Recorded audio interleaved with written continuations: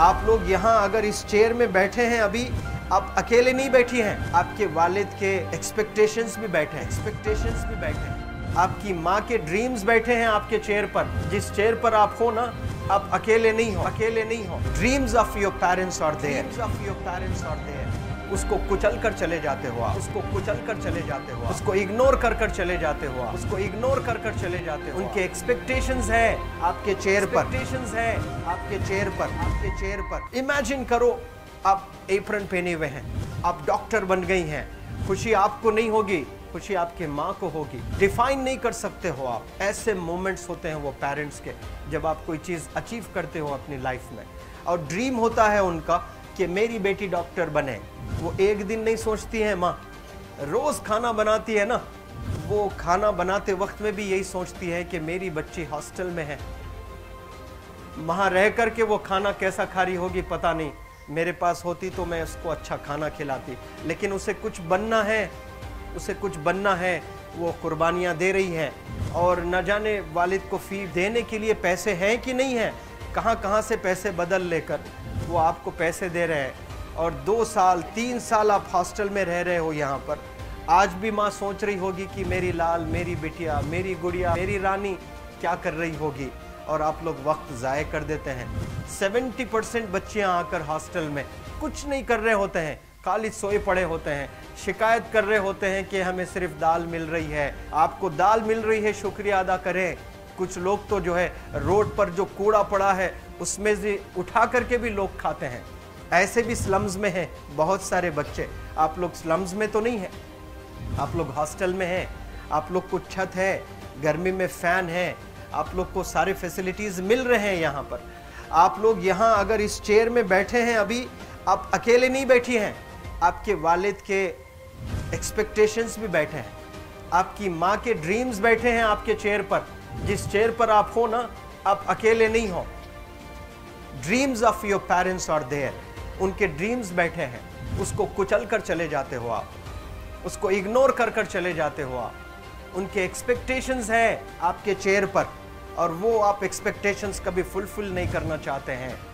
आपको अच्छा लगता है कि अपनी माँ के ड्रीम्स को आप कुचल दिए हैं फुलफिल नहीं किए हैं। तो ज़िंदगी में अगर आप कामयाब होना चाहते हैं तो अल्लाह सुबहान ताला आपको अपॉर्चुनिटीज़ देता है। ये लम्हा जो कुछ बच्चियाँ रो रही हैं, वो क्यों रो रही हैं? वो अपनी माँ को चाहती हैं। They love their mothers they love their fathers they love their parents उनको ज़रूर शाहरुख खान कुछ पल के लिए अच्छा लगता है।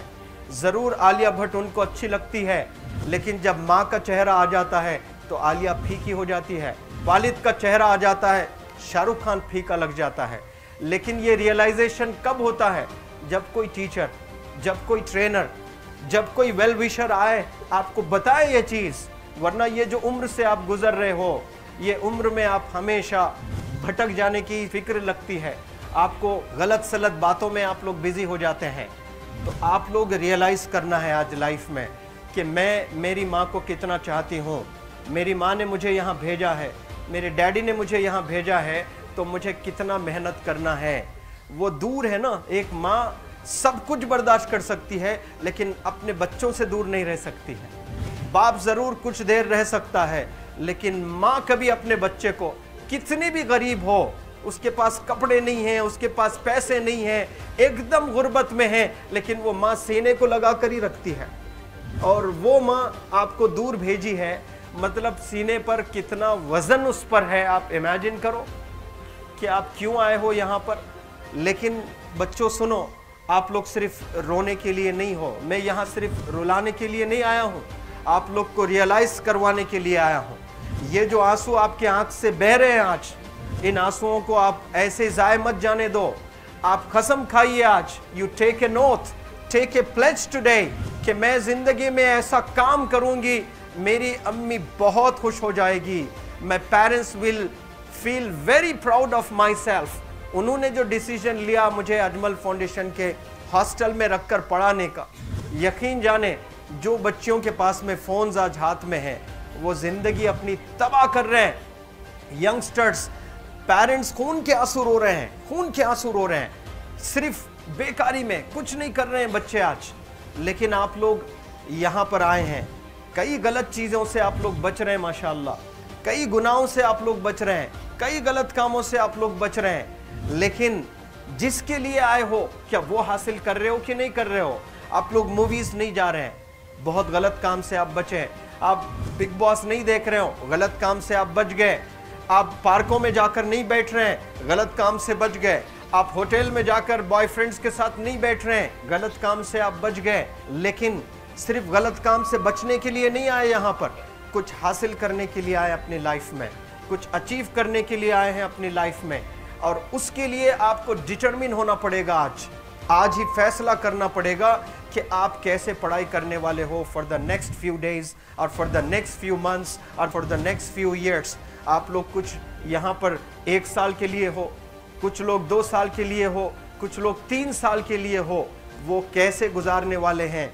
You have to take a pledge today you have to promise yourself today that I am not going to waste my life ये जो उम्र है आप लोग की यकीन जाने, ये गोल्डन पीरियड होता है। ये लड़कियाँ जो फ़ेज़ से गुजर रहे हो ना, ये P H A S C phase ये गोल्डन पीरियड वाला फ़ेज़ है।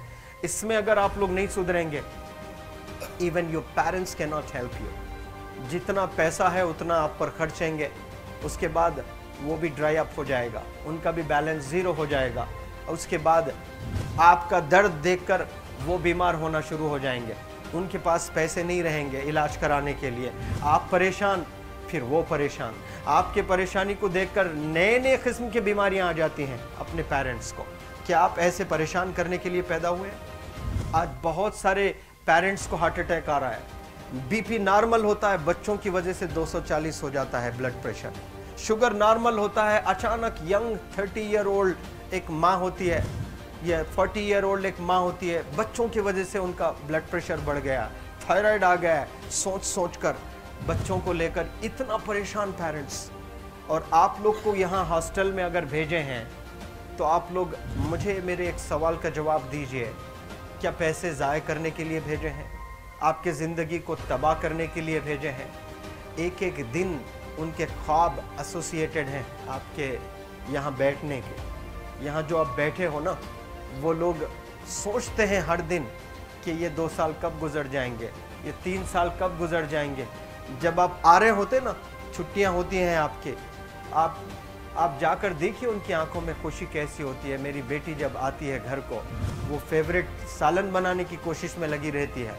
वो आपका फेवरेट क्या खाना है, वो खाना बनाती है आपको। और इतना प्यार करने वाले आपको दुनिया में कोई नहीं मिलते हैं, ये आप बखूब जानते हैं।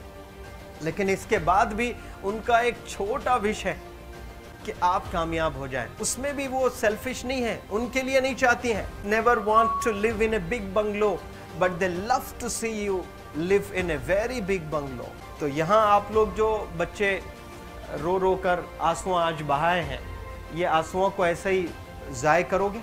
ये आप लोग प्रॉमिस करोगे अपने लाइफ में कि यहाँ से मैं वापस जब जाऊँगी घर, कुछ बन कर जाऊँगी मैं। मैं ऐसे ही यहाँ पर नहीं हूँ। I am here to achieve something in my life I am born to do wonders in my life आप एक एक अनमोल रतन हैं।